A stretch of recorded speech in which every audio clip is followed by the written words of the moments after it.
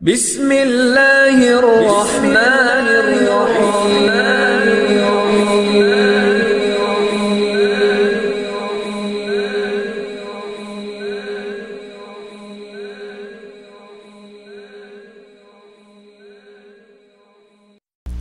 الحمد لله رب العالمين والصلاة والسلام على سيد المرسلين نبينا محمد وعلى آله وصحبه أجمعين أما بعد فعن جرير بن عبد الله رضي الله عنه قال بايعت رسول الله صلى الله عليه وسلم على إقام الصلاة وإيتاء الزكاة والنصح لكل مسلم হ্যাঁ, প্রিয় দর্শক ও শ্রোতা ভাই বোনেরা বর্তমান বিশ্বে অনেক পীর বুজুর্গ রয়েছে যারা বায়াত করতে থাকেন।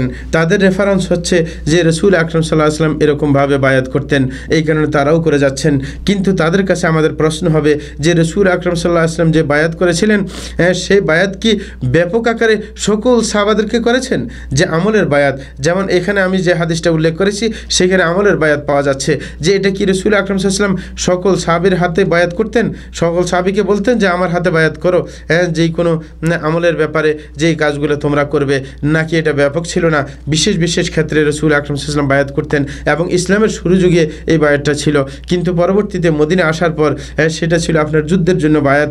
যেরকমভাবে আপনার বায়াতের রেদওয়ান যেটাকে বলা হয়, সেই সময় তার সাথে যত সংখ্যক সাহাবি ছিল, তাদের তাদের হাতে বায়াত করছেন। রসুল আকরম সাল্লামের হাতে তারা বায়াত করেছিল। যুদ্ধের জন্য হজরত উসমান রাদি আল্লাহ প্রতিশোধ নেওয়ার জন্য। কারণ খবর ছড়িয়ে পড়েছে হজরত উসমানকে হত্যা করা হয়েছে। সুতরাং আপনার ইসলামের মধ্যে আমরা রসুল আকরম ইসলামের জীবনী যখন দেখব তখন দেখব যে রসুল আকরম ইসলাম আমলের বায়াত করেছেন, খুব স্বল্প সংখ্যক হাদিসের মধ্যে সেটার বর্ণনা এসেছে।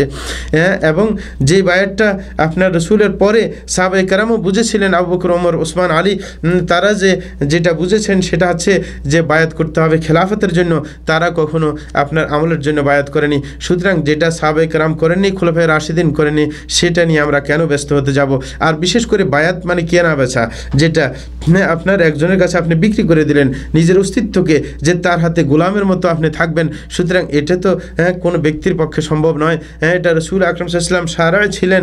এই জন্য তার হাতে হ্যাঁ মানুষে এরকম বায়াত করতো এবং হ্যাঁ, তার হাতে বায়াত করে তারা আমলে উৎসাহিত হতো। কিন্তু পরবর্তীতে এটা সাহাবাইকরাম চালু রাখেননি কারণ এটাকে রসুল আকরম ইসলামের বিশেষ একটা বৈশিষ্ট্য হিসাবে তারা গ্রহণ করেছিলেন।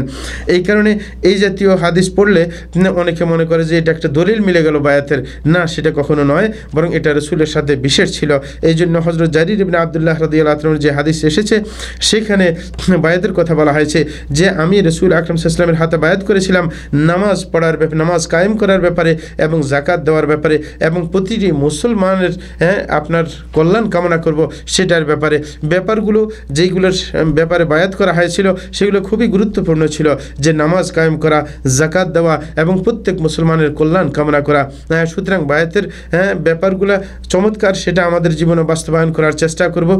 কারণ ইসলাম যখন গ্রহণ করেছি তখন আমরা অবশ্যই আল্লাহর সাথে চুক্তিবদ্ধ হয়েছি যে আমরা আপনার আনুগত্য স্বীকার করব। সুতরাং আর নতুন করে বায়াতের কোনো প্রয়োজন হয় না কারণ সেটাই একটা চুক্তির মতো আল্লাহর সাথে যে আল্লাহর আনুগত্য করে মুসলমান মানে অনুগতশীল সুতরাং আনুগত্য অবশ্যই আমাদেরকে করতে হবে। সুতরাং যত আপনার আদেশ নিষেধ শরীয়ত আছে সেগুলো আমাদেরকে অবশ্যই মেনে চলতে হবে। সেটার জন্য কোনো ব্যক্তির মাধ্যমে কারোর হাত ধরে যে চুক্তিবদ্ধ হব, যে আমি শরীয়ত মানব, সেটার প্রয়োজন কেন হবে? বরং এই সুযোগটা, কিছু সংখ্যক মানুষ এই সুযোগটা গ্রহণ করে মানুষের সম্পদকে লুটপাট করার একটা সুযোগ গ্রহণ করেছে। যার কারণে দেখা যাচ্ছে অনেকে খুব দ্রুত আপনার বায়াত সিস্টেম চালু করে দিয়ে খুব দ্রুত ধনী হয়ে যাচ্ছে এবং মানুষকে আপনার নিজের অধীন রাখার জন্য যত পলিসি আছে, সেগুলো বাস্তবায়ন করছে। মানুষকে আপনার শিক্ষিত করার চেষ্টা করছে না। একবার দেখা যাচ্ছে যে একজন আসে জৌনপুর থেকে আমাদের এলাকায় একজন আসছিল এরকম নজর নিয়াজ নেওয়ার জন্য। তো আরেকজন আলম তাকে বললেন যে আপনি প্রত্যেক বছর আসেন তো মানুষ আপনার জন্য নজর নিয়াজ করে। এটা তো ঠিক না। আল্লাহর জন্য নজর নিয়াজ করবে মানুষের জন্য মানত করা সেটা হচ্ছে আপনার শিরিক। সুতরাং আপনি কেন ওদেরকে বলে দেবেন না যে এইগুলো করা শিরিক তোমরা এটা করবে না? সে উত্তরে বলে যে এইগুলো সাধারণ মূর্খ মানুষ হ্যাঁ, এদেরকে ওইভাবেই চলতে দেন। আল্লাহ তাদেরকে ক্ষমা করে দেবে। কেন এটা বলে? কারণ হচ্ছে তার ওই যে লাভটা আর থাকবে না। যদি তাদেরকে তাদেরকে একবার বুঝিয়ে দেয় যে তোমাদেরকে আর আমার জন্য মানত করতে হবে না। তখন তাকে ইন্ডিয়া থেকে এখানে আসে।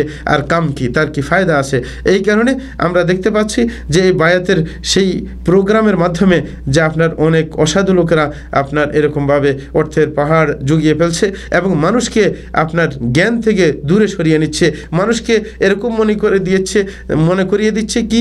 যে আমার হাতে বায়াত করলেই তোমরা বেড়া পার হয়ে যাবে, জান্নাত পেয়ে যাবে। আসলে ব্যাপারটা সেরকম নয়। বরং তার উ- উদ্দেশ্য ছিল উদ্দেশ্য থাকা দরকার ছিল যে অনেকে মনে করে যে শায়েক বা পীর মানে হচ্ছে শিক্ষক। যদি এটাই হতো, তাহলে তার দায়িত্ব ছিল যে প্রত্যেকটা মানুষকে হ্যাঁ ধর্মীয় শিক্ষায় শিক্ষিত করে তোলা। কিন্তু দেখা যাচ্ছে একজন, একজনের মুরিদ হয়ে আছে দশ বছর, পনেরো বছর, বিশ বছর। এখনও ঠিক মতো সে সুরে ফাতে পর্যন্ত পড়তে পারে না। আর ধর্মীয় কোনো জ্ঞান তার মধ্যে নেই। শুধু সে এতটুকুই ধারণা করছে যে এর হাতে হাত লাগিয়ে যদি আমি থাকতে পারি, তাহলে কেয়ামতের দিন সে আমার জন্য সুপারিশ করবে। সে আমাকে জান্নাতে পৌঁছিয়ে দিবে, জাহান্নাম থেকে মুক্তি দিয়ে দিবে। এটা হচ্ছে মানুষের স্বপ্ন, কিন্তু এটা বাস্তবায়িত হওয়ার নয়। সুতরাং আমরা এইভাবে হ্যাঁ আপনার ভুলে, ভুল বুঝে আমরা কখনো মানুষের হাতে বায়াত করতে যাব না। সেটা ছিল রসুল আকরম সাল্লাহামের হাতে বায়াত, যেটা আমলের বায়াত ছিল।